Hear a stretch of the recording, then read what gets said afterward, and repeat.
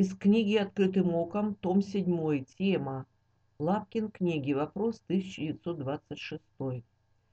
Среди множества даров, с какими вы встречались, что видели у других, хотели бы свой дар знания Писания и дар проповедничества поменять на другой?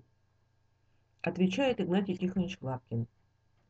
Было только однажды и только на мгновение, когда у баптистов в Новосибирске услышал, как два брата поют. Мне захотелось подняться на крышу и запеть на весь город, но тут же подумал, что свой дар я бы уже не сохранил и не отдал бы. Мне дано слишком много память, трудолюбия, по 16-18 часов даже сейчас я провожу за клавиатурой компьютера ежедневно.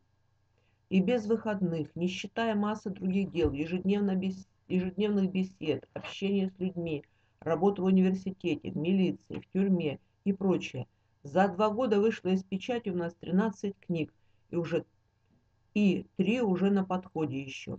Даже моя глухота меня нисколько не удручает, только бы не ослепнуть совсем. Слепым не завидую, а жалею их. 1 Коринфянам 9.22. Для немощных был как немощный, чтобы приобрести немощных. Для всех я сделал совсем, чтобы спасти, по крайней мере, некоторых. Иоанна 1.12. А тем, которые приняли его, верующим во имя его, дал власть быть чадами Божиими. Иероним Стридонский, день памяти 15 июня. Блаженный Иероним, рассказывая о событиях, происшедших в дни его детства, передает следующее о Дедиме – когда в Александрию прибыл знаменитый отшельник святой Антоний, вызванный сюда святым Афанасием для борьбы с арианами, то Дидим посетил великого подвижника. Последний, удивляясь уму и знаниям Дидима в области Священного Писания, спросил его, скорбит ли он о том, что он слеп.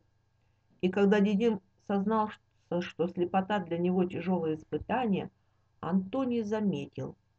Странно, что ты скорбишь о потере дара, которым обладают мухи и муравьи, и не радуешься обладанию такими познаниями, которых удостаивались только святые и апостолы.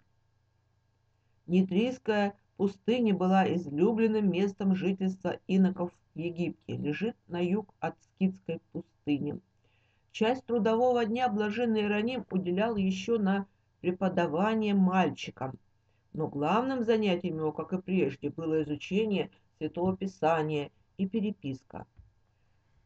Сульпиций Север, проживший с блаженным Иеронимом в его пещере шесть месяцев, свидетельствует, что блаженный отец всегда был занят чтением или письмом, почти не пользуясь отдыхом не только днем, но и ночью. Олимпиада.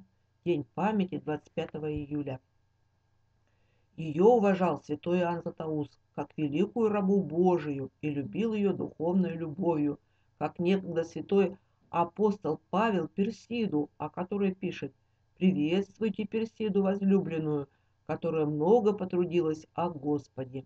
Римлянам 16.12. И Олимпиада святая сделала не менее Персиды, много трудясь ради Господа и служа святым, великою и теплою любовью.